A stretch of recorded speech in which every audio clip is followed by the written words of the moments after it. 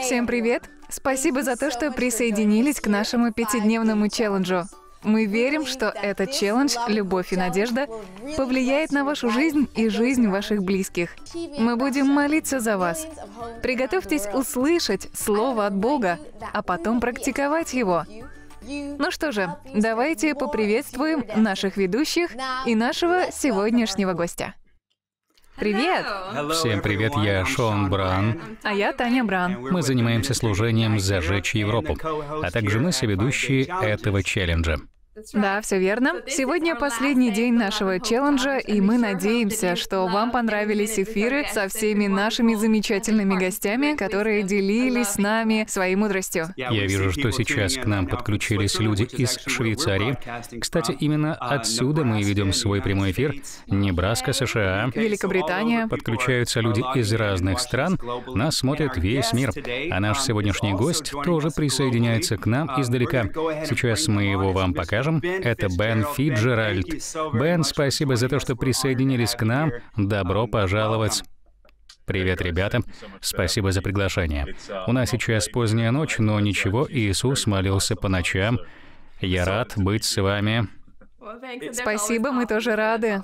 Да, да, вы в Австралии, и сейчас там час ночи. Все верно? Да, верно. Ух ты. Большое спасибо за то, что не спите допоздна, чтобы пообщаться с нами. Мы вам очень благодарны за это. Спасибо. Бен, перед тем, как перейти к интервью, я хотел попросить вас о чем-то. Возможно, нас смотрят люди, которые вас не знают. Вы не могли бы немного рассказать о себе и служении? Да, наше служение называется «Пробуждение Европы».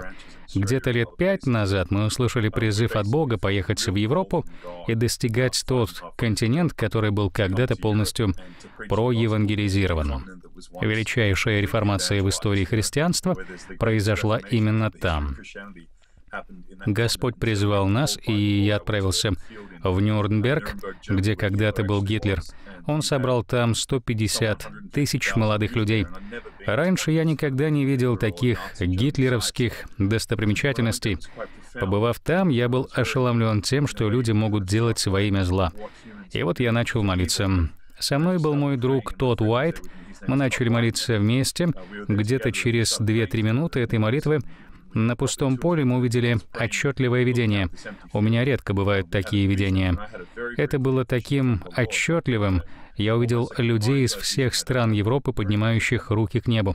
Русских, украинцев, с голубыми глазами, светлыми волосами, шведов, разных людей из разных стран Европы. И все они кричали «Бог, возьмись за Европу».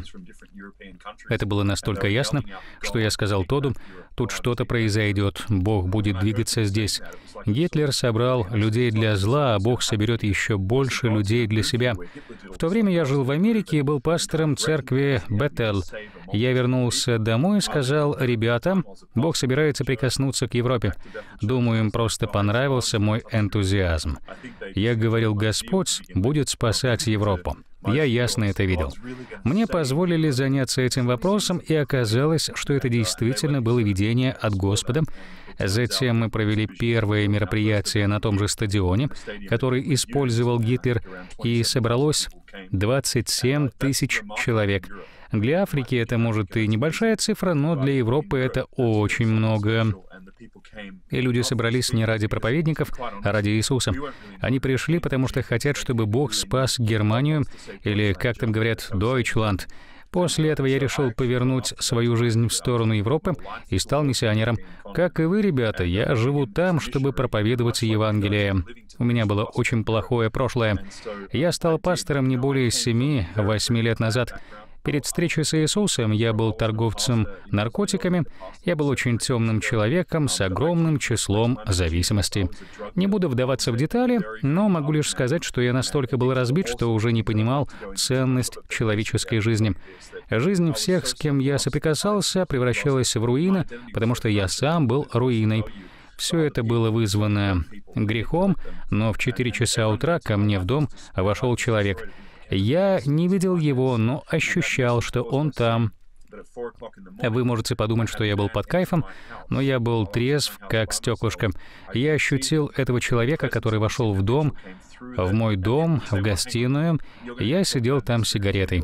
Бог обратился ко мне. Я знал, что это был Иисус. Иисус сказал, «Бен, я люблю тебя. Я хочу, чтобы ты следовал за мною».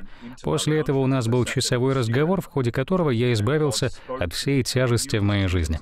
Вот как я избрал Господа. Вернее, Он избрал меня, а я лишь сказал, «Хорошо, я буду следовать за тобой, Иисус». Ко мне вернулся мир, детская радость. До этого у меня была лишь злость и ненависть, а после этого я стал пастором, пришел в церковь Бетель и в итоге оказался в Европе, чтобы проповедовать здесь Господне Евангелие. Круто! Мы очень рады, что вы это сделали, и что Иисус пришел в вашу жизнь. Это очень сильно. А что бы вы сказали человеку, который сейчас в таком же положении, как были вы когда-то, и чувствует себя нелюбимым и недостойным любви? Да, я понимаю, что такое безнадега, и что значит чувствовать себя нелюбимым и недостойным любви. Человек может чувствовать отверженность и из-за этого может переходить от одних отношений к другим, но так и не понимать, что значит быть любимым Богом и быть значимым. Я могу сказать вам одно. Вы можете искать этого везде. В наркотиках, в деньгах, в мужчинах, в женщинах. Даже если у вас будут миллиарды долларов, это не даст вам мира. Даже известные и выдающиеся люди в мире идут на самоубийство, потому что даже слава и любовь окружающих не могут заполнить эту пустоту внутри, образовавшуюся из-за греха. А почему бы не обратиться к Богу? Не может быть, чтобы миллиарды людей на Земле, которые говорят, что Иисус изменил их, были лжецами. Может, это все же правда, что они имеют радость и свободу? я хочу сказать вам, несмотря ни на что, Бог желает дать вам свободу, потому что Он создал вас, и у Него есть цель для вашей жизни. Я обещаю, если вы придете к Иисусу, Он не оттолкнет вас и не отвернется от вас. Он повернется к вам и даст вам жизнь. Вам лишь нужно открыться и сказать, «Хорошо, Бог, я подчиняюсь Тебе». Именно это мне пришлось сделать. Я перепробовал все, чтобы заполнить эту пустоту. Деньги и все остальное заполняют вас на минуту, а через минуту снова пустота. Многие понимают, о чем я. Бог любит вас такими, как вы есть, и хочет познакомиться с вами сегодня. Прекрасно сказано, Бен. Вы очень сильный евангелист. Вы проповедуете Евангелие, а мы проводим челлендж «Любовь и надежда». Вы не могли бы рассказать слушателям, что значит нести любовь вместе с Евангелием? Да, если убрать любовь из евангелизма, то что это будет? Я не знаю, как это тогда назвать.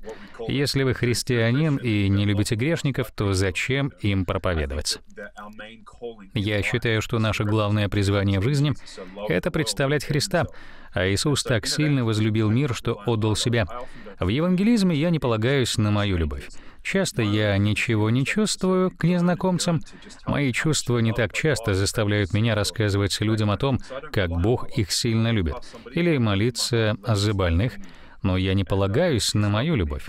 Когда я прохожу мимо кого-то, то открываю сердце и позволяю его любви наполнить меня. Меня мотивирует именно Божья любовь, но я со своей стороны должен поддаться этим побуждениям от Бога. Вам не нужно собирать в себе все чувства и быть чрезвычайно милым. Важно ходить в духе. Господь, пусть через меня течет Твоя любовь.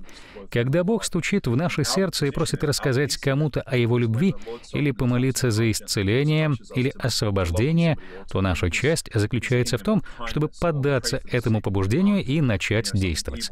Я могу сказать, что ошибался в слове знания, ошибался, когда молился за больных, и они не исцелялись, но если кого-то ощутимо касается Божья любовь, Писание говорит, что любовь не терпит поражения. Я много раз видел, как любовь Иисуса буквально потрясала людей. Она потрясала их куда больше, чем мой интеллект. Прекрасно сказано, спасибо. Вы частично уже ответили на мой вопрос, что делать, если вам слишком страшно. Но следующий вопрос у меня такой. Что бы вы сказали тому, кто не считает себя евангелистом? Ему тоже нужно свидетельствовать. Прекрасный вопрос. Давайте немного изменим сценарий. Предположим, мой друг Джереми Литл, он лидер прославления, скажет, «Ребята, выходите вперед и давайте прославим Бога». А половина людей сложит руки и сердито скажет, «Я не лидер прославления и не буду славить». Это больше похоже на бунт. Мы бы такого не поняли, потому что мы делаем это из любви к Богу. Мы любим Его и поэтому славим Его. Мне кажется, что мы сделали многие вещи вполне обычными. Поклонение, любовь, доброту. Но каким-то образом врагу удалось навязать идею о том, что евангелизм только для евангелистов. Но Иисус сказал, что любой, кто имеет с ним отношение, является свидетелем того, что он сделал. Смешно считать, что мы не можем быть свидетелями. Ведь наша жизнь должна быть живым письмом, которое будут читать люди и восхищаться работой Бога. Ух ты, с этими людьми что-то не так, а они совсем другие. И у нас есть эта возможность сказать а я другой благодаря моему Господу Иисусу. Не все призваны вести хвалу, но все призваны хвалить и поклоняться. Не все призваны быть евангелистами, но все призваны евангелизировать. Не все призваны к телепроповедованию, но все должны говорить. Супер. Вы упоминали помазание. Вы не могли бы детальнее рассказать, как Дух Святой оснащает нас на дело служения и на евангелизм? Да, помазание — это очень сильно. Это власть Иисуса на нас. У меня есть безумная история. Помню, как возложил руки на людей в одном правительственном здании, и первый человек исцелился. Подошли еще двое или трое и увидели, что эта женщина исцелилась. Сила Божия вошла в ее тело, и она исцелилась. Она начала говорить об этом людям. А люди начали сходиться, и вскоре вокруг было полно народа. И передо мной образовалась очередь в семь или восемь человек. Это был довольно странный день. Я чувствовал, что из меня выходила такая сила Божья, и вот я начал думать, что же я такого сказал, что спровоцировало все это? А Господь сказал, остановись. Позволь мне течь через тебя. Ты сосуд. А помазание — это как масло. Масло протекает всюду. Так и помазание течет отовсюду. Мы не можем понять его умом. Это сильное Божие помазание. Писание говорит, что это сила, которая разрушает бремена и снимает иго. Эта сила сходит на вас и срывает все иго и бремена врага. Но она зависит не от вас, а от Машеха. Это означает «помазанник» на иврите. Именно Бог помазывает вас и дает вам свой дух. Вы просто сидите и не можете выдавить из себя эту силу. Я не могу сказать «Сила, выходи». Я лишь говорю «Спасибо, Господь, Ты призвал меня исцелять больных и дал мне помазание для этого». Я позволяю этой Божьей силе, Духу Божьему течь через меня. А еще я очень много молюсь о помазании. Господь, наполни меня. Дай мне еще Твоего помазания. Наполни мою жизнь, чтобы происходили чудеса, и демоны убегали. Я надеюсь, вы хоть что-то поняли из моего ответа, ребята, потому что мне хотелось передать вам сам смысл. Да, мне все понятно. Особенно это важно в Европе, где такая сухая атмосфера, и чтение Библии приравнивается к чтению Шекспира, знаете ли. Поэтому тут помазание очень важно. А еще есть такие места, где проповедь Евангелия просто запрещена. Как же применять эти принципы и силу Святого Духа при таком сценарии? Как благовествовать, как рассказывать об Иисусе в таких местах? Если вы смотрите нас из тех мест, где проповедь Евангелия запрещена, Рассмотрим эту ситуацию с разных сторон. Я постараюсь сделать это очень быстро. Бывает так, что вам запрещено рассказывать о Боге на вашем рабочем месте. В таком случае я говорю людям, вы не можете ничего рассказывать там, но вы можете являть характер и природу Бога. И я призываю вас мыслить креативно. Вы можете общаться с коллегами за пределами работы. Если вы не на работе, то вам больше не нужно скрываться. Нужно быть креативными. Иногда мы думаем слишком ограниченно. Поэтому будьте креативными, а не ограниченными. С другой стороны, Божие помазание на Петре было таким сильным, что помазание на нем исцеляло людей без единого слова с его стороны. Поэтому я рекомендую вам настолько просочиться Богом, чтобы Господь удивлял вас тем, что Он будет делать. Недавно я проводил подобный прямой эфир, и в комментариях я прочитал, что какая-то женщина сейчас в реанимации. У нее маленький ребенок, а она попала в реанимацию с многочисленными отклонениями. И читая этот комментарий, я почувствовал дух смерти. Поэтому я сказал, «Дух смерти, убирайся из ее жизни прямо сейчас во имя Иисуса». И вчера я получил письмо, что Господь разбудил ее. Демон покинул ее палату, и она вышла из комы. Она вышла из комы через час или два после нашей молитвы. Человек, который был в палате в тот момент, сказал, что он почувствовал, как что-то покинуло палату. Это доказывает, что нам не нужно говорить 50 разных слов, чтобы высвободить силу. Нам лишь нужно просочиться самим Богом. Мы можем быть ограничены, но Бог не ограничен. Он все еще творит чудеса. Второй вариант — это закрытая страна. Если вы находитесь в стране, где христианство запрещено и так далее, то иногда приходится уходить в подполье. Но я советую людям не переставать говорить о Боге, даже если закон запрещает им говорить об Иисусе.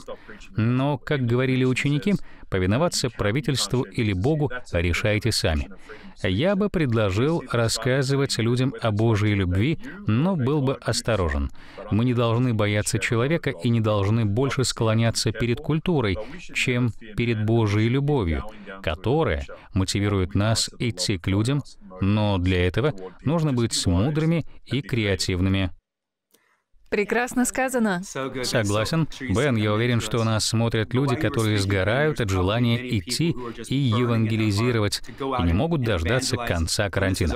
А вы не могли бы рассказать также о важности наставников и духовных отцов в нашей жизни?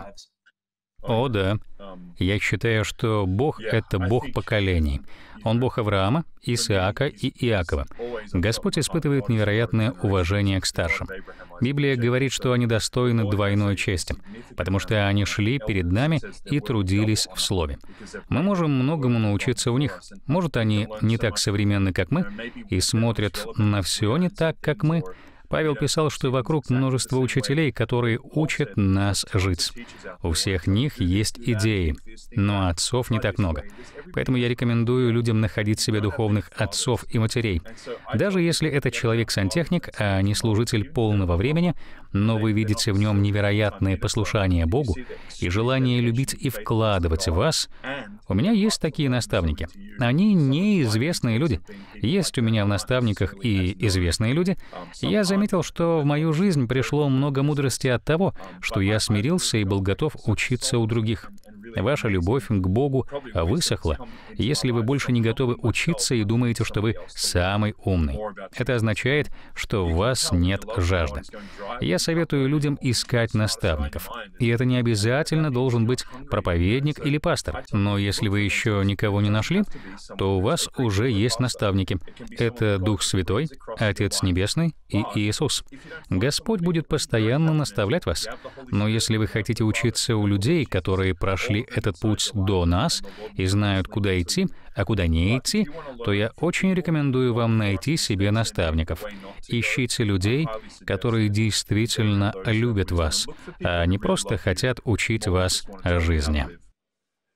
Прекрасно подмечено. Мне очень понравилось. Но давайте сменим тему. Как вы считаете, какую роль в этом играет поместная церковь? Поделитесь, пожалуйста, как вы думаете? Она очень важна в наставничестве. Думаю, нам нужны люди, которые скажут «я лидер, но вас 500 человек. Я просто не в силах послужить всем вам». Давайте создадим культуру, в которой мы будем учить и наставлять друг друга. Хочу заметить, что важны не только отцы, но и матери.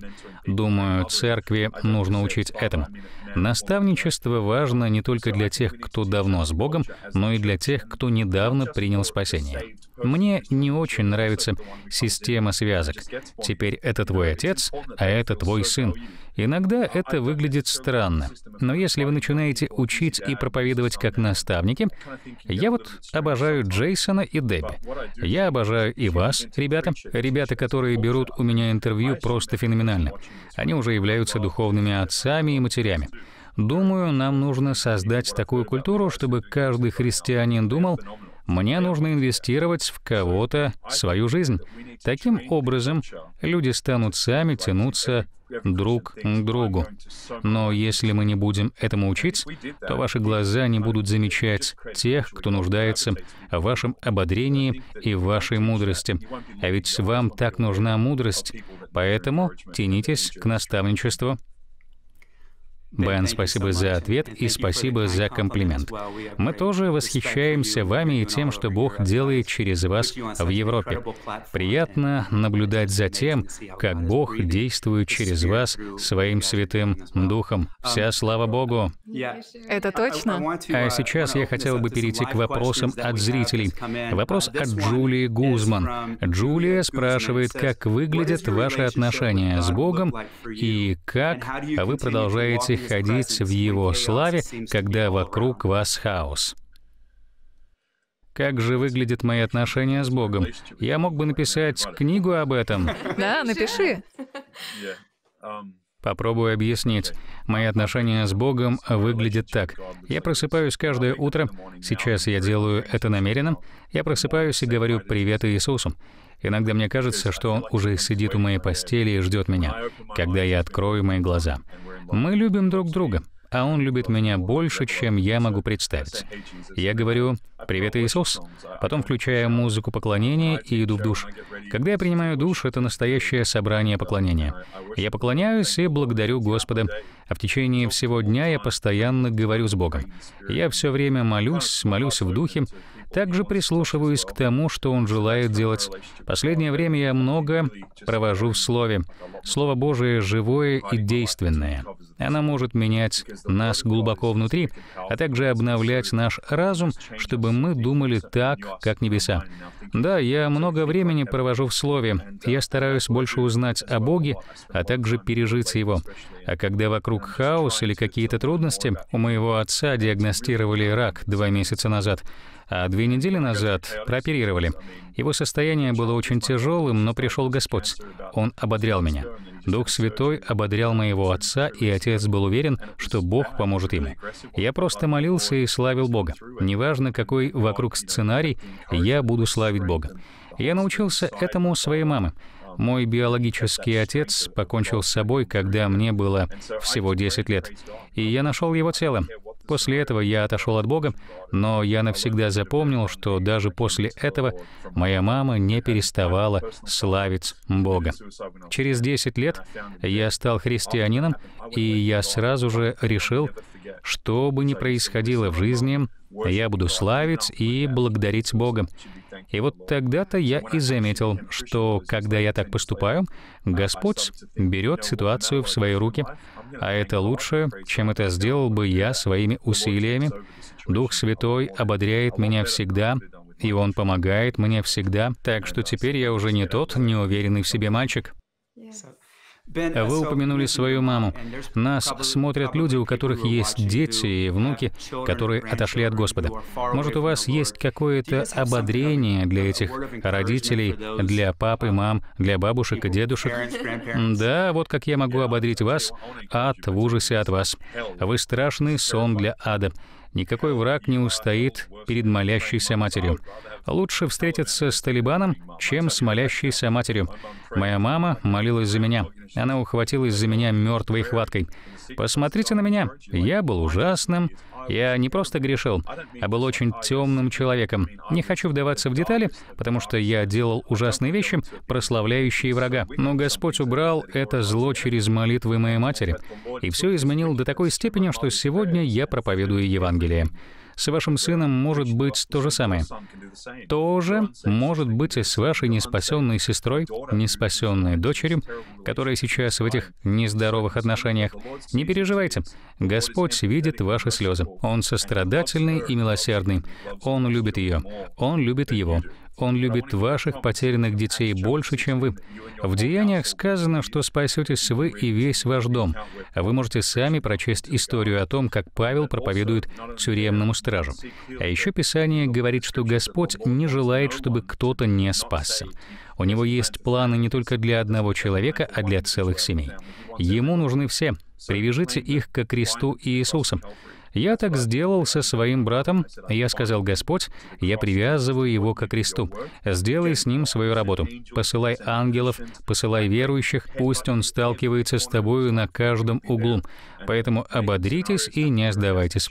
Не позволяйте голосу страха, отчаяния или времени пугать вас.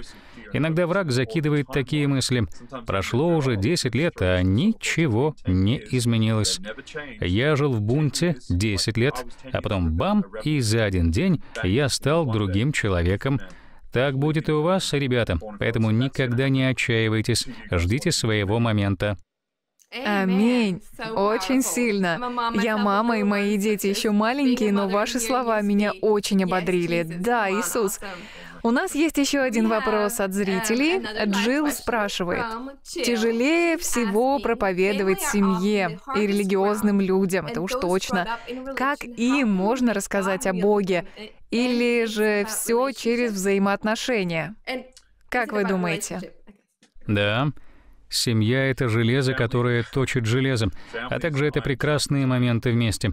Семья острит вас, и вам нужно быть мудрыми и ходить в плодах Духа, пока люди не открыты к познанию Бога. То же касается религиозных людей. Они думают, что знают Бога, потому что делают этот жест дважды в год — на Пасху и на Рождество. Да, с ними общаться непросто, но ваше поведение, ваша тайная жизнь с Господом будет говорить громче, чем ваши слова. У меня был случай, когда я поклонялся Господу, и Господь так сильно обличал моего брата. В доме был сам Бог, и брат вошел ко мне и стал исповедоваться в своих грехах. Джилл, я думаю, что ваши отношения с Иисусом в вашем доме вы можете поклоняться Иисусу за закрытой дверью, а это может вызывать ваших родных дискомфорт или взбудоражить каких-то демонов. И все, что мешает вашим близким прийти к Богу, всплывет на поверхность, и в семье начнется война. Но вы должны знать, что знающий Бога и молящийся за свою семью победит, потому что у него есть власть. Власть не у врага, а у Бога. Поэтому ободритесь. Продолжайте любить своих родных. Будьте добры. Не принуждайте их ни к чему. Я так пробовал, но у меня ничего не вышло. Но когда я стал по-настоящему любить Бога, когда все смотрели какой-то фильм, а я читал Библию, все это в итоге создало какую-то особую атмосферу.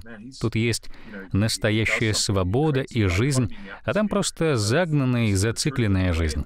И это вызвало хороший конфликт. Думаю, Господь будет давать вам такие хорошие конфликты.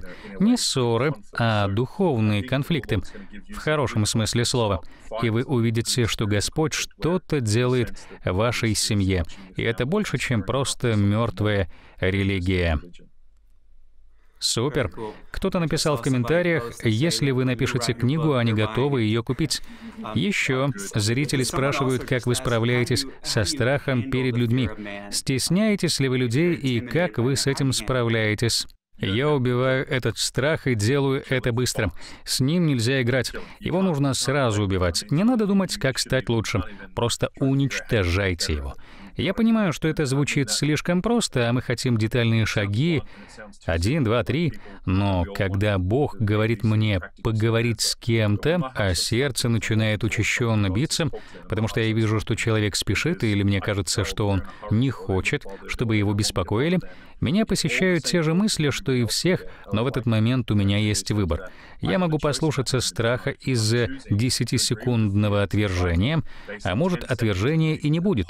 В Германии я часто сталкиваюсь с этим. В Германии и в Америке разные культуры, и вначале люди не хотят говорить со мной. Но я выучил несколько фраз на немецком, и я видел, как Бог касался людей благодаря этим простым предложениям. А когда вам кажется, что ваше сердце замирает, потому что страх имеет свойство парализовать, и вы просто решаете «нет, я не буду так жить, это глупо, я больше боюсь мнения какого-то незнакомца, чем голоса Божьего», решите, что это глупости, просто игнорируйте страх. Так вы его убиваете. И вы удивитесь невероятным результатом, как все изменится. Да, это здорово. Еще один вопрос. Как вы справляетесь с отверженностью? То есть вы проповедовали Евангелие, ожидали, как человек встанет с инвалидного кресла, а он упал на землю и смотрит на вас, как на сумасшедшего. А потом вы просто пожимаете ему руку и уходите прочь. Как вы справляетесь с такими ситуациями? Вас может удивить мой ответ, но вам это весьма полезно. Мне не нравится чувство отверженности, и я не знаю того, кому оно нравится. Но это чувство очень полезно. Оно прибавляет вам зрелости. Так вы осознаете, какое у вас основание. Утвержден ли я в Господе, или же мне нужно, чтобы все меня любили? Меня отвергали много раз, но меня это не волнует. Меня больше волнует, когда я молюсь за кого-то, а чуда не вижу.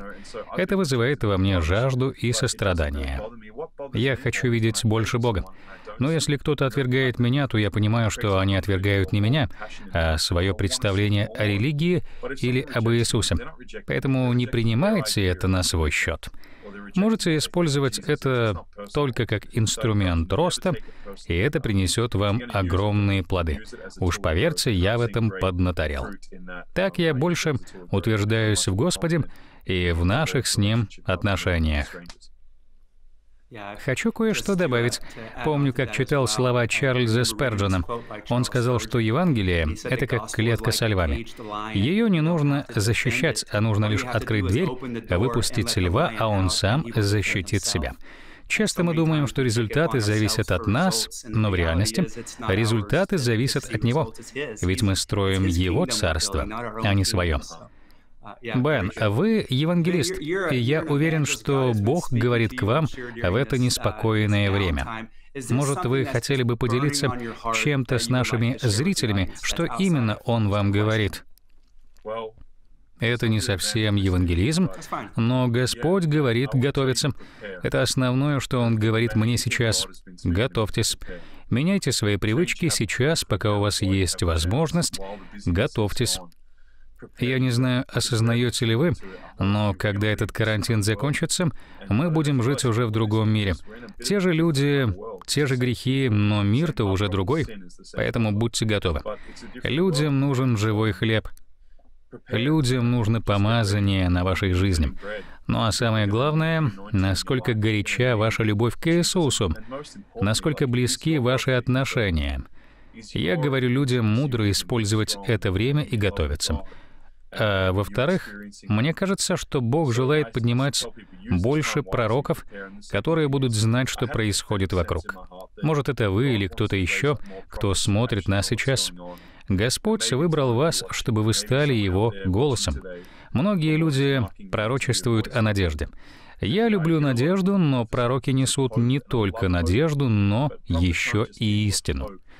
Да, мы должны ободрять и нести надежду, и это правда очень важно, но в книге Деяний был пророк, который знал, что приближается голод.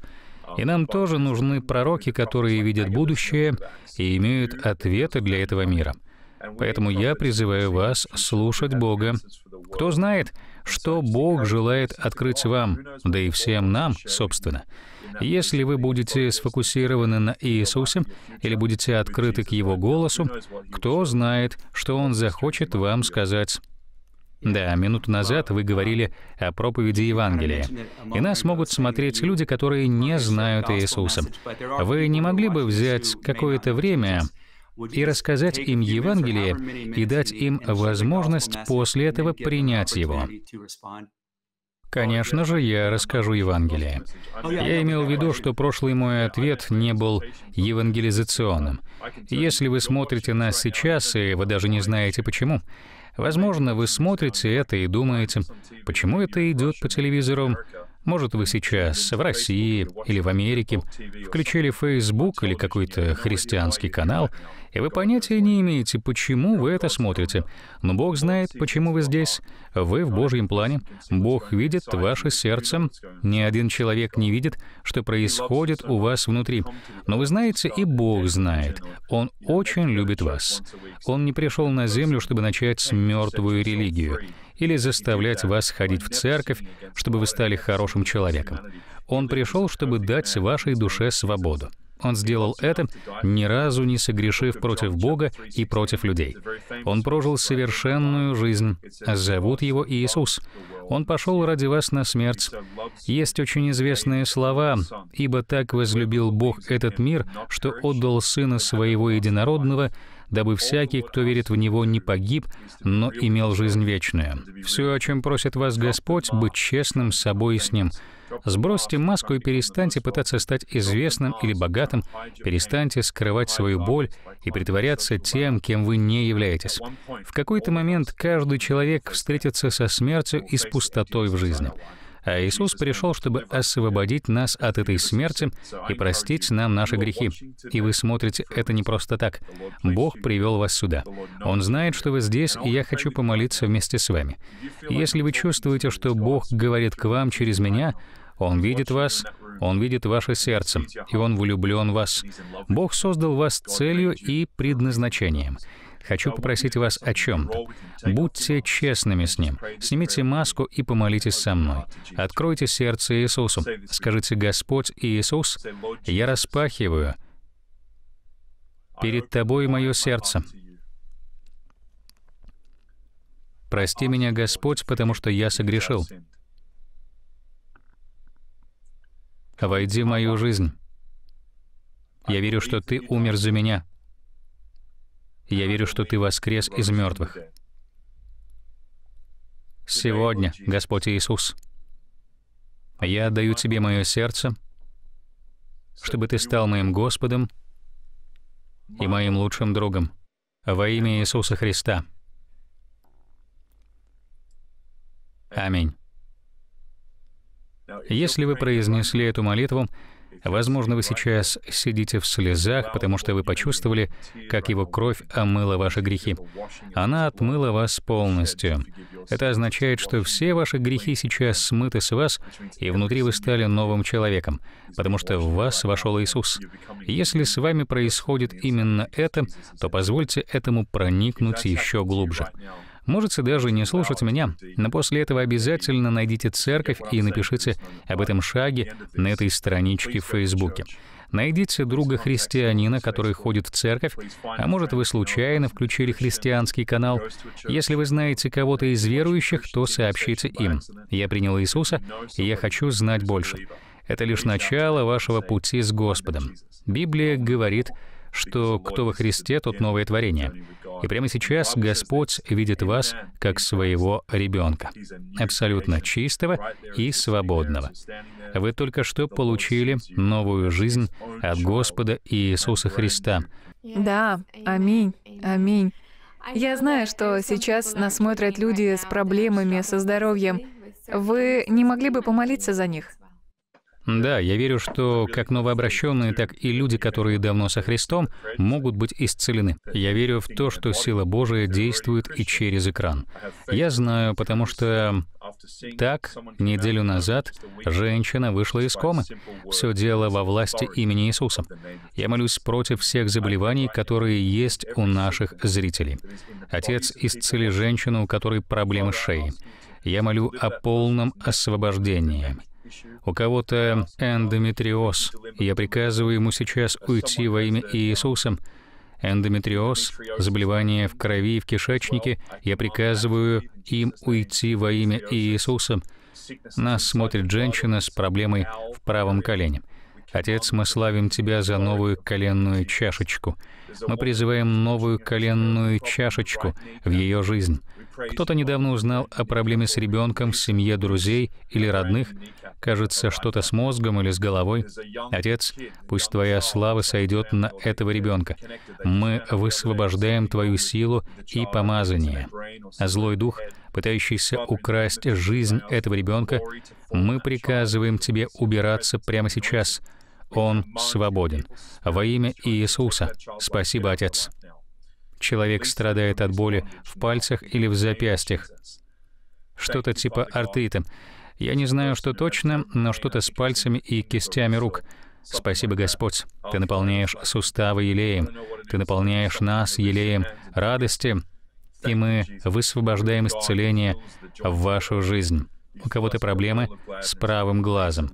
Я приказываю кисте или какому-то наросту на глазу убираться сейчас же во имя Господа Иисуса. Спасибо, Иисус, за каждого человека. Спасибо тебе, Господь, за исцеление и восстановление. Аминь. Бен, мы так рады тому, что вы были с нами. У вас уже два часа ночи. Я знаю, что многих коснулись ваши слова и ваше помазание. Молитесь за нас. Мы очень рады тому, что Бог делает сейчас в Европе.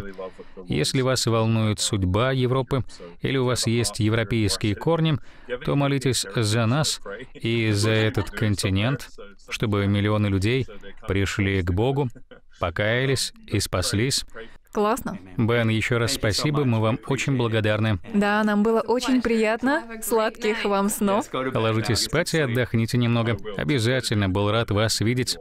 Взаимно. Большое спасибо. Спокойной ночи. До встречи. Пока. Ух ты. Прекрасно. Да, очень и очень хорошо. Я знаю, что многие из вас пережили Божие прикосновение и получили слова ободрения от Бена, а также от всех остальных гостей этого проекта. Прекрасно. У нас пятый день челленджа, а это означает, что у нас есть задание на этот день. Мы не просто хотим, чтобы вы прослушали интервью. Мы хотим бросить вам вызов, чтобы это запечаталось в вашей памяти. Задание состоит из двух частей. Одна нацелена на вас, а вторая на окружающих вас людей. И вот это задание. Я прочту первую часть, а Таня прочитает вам вторую. Итак, подумайте о том, как сильно Иисус изменил вашу жизнь. Подумайте о том, как начались ваши отношения с Иисусом и какие они сегодня. Попросите также Бога дать вам возможность на этой неделе рассказать кому-то о вашей вере. Да, а также поделитесь с кем-то своим свидетельством об Иисусе. Расскажите о том, что Иисус сделал в вашей жизни и как с Иисусом ваша жизнь стала лучше. Мы хотим быть благословением для многих людей. Знаете, что мы любим вас. Спасибо за то, что были с нами все эти пять дней. И до новых встреч в эфире. Увидимся. Ух ты! Вот и закончился наш челлендж «Любовь и надежда». Мы надеемся, он очень вдохновил и ободрил вас. Еще раз спасибо за то, что вы были с нами. А также спасибо всем нашим гостям, ведущим и огромной команде, которая трудилась за кулисами, чтобы этот челлендж стал реальностью. Благодаря вам мы уже никогда не будем прежними, это уж точно. Поделитесь этой информацией со всеми своими друзьями. И помните, что сказала Хайди Бейкер.